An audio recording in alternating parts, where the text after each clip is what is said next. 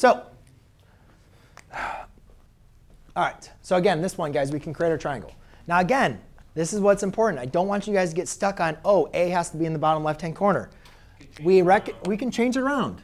So I'm going to put, I want the angle that I know to be here. And therefore, this is 9. And then I want this side length to be 18 here. Right.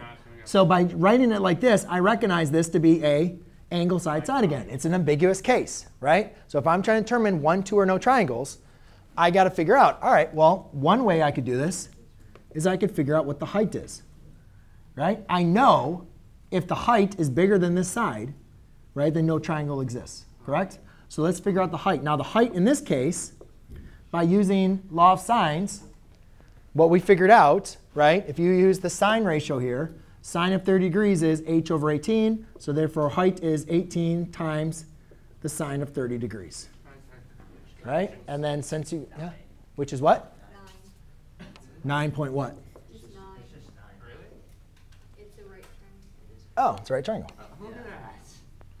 So h is equal to 9. So therefore, what we have is a um, 1 right triangle. Well, we're, the question was, is there one, two, or no triangles? Right? Um, now, I actually, that was the first time I did that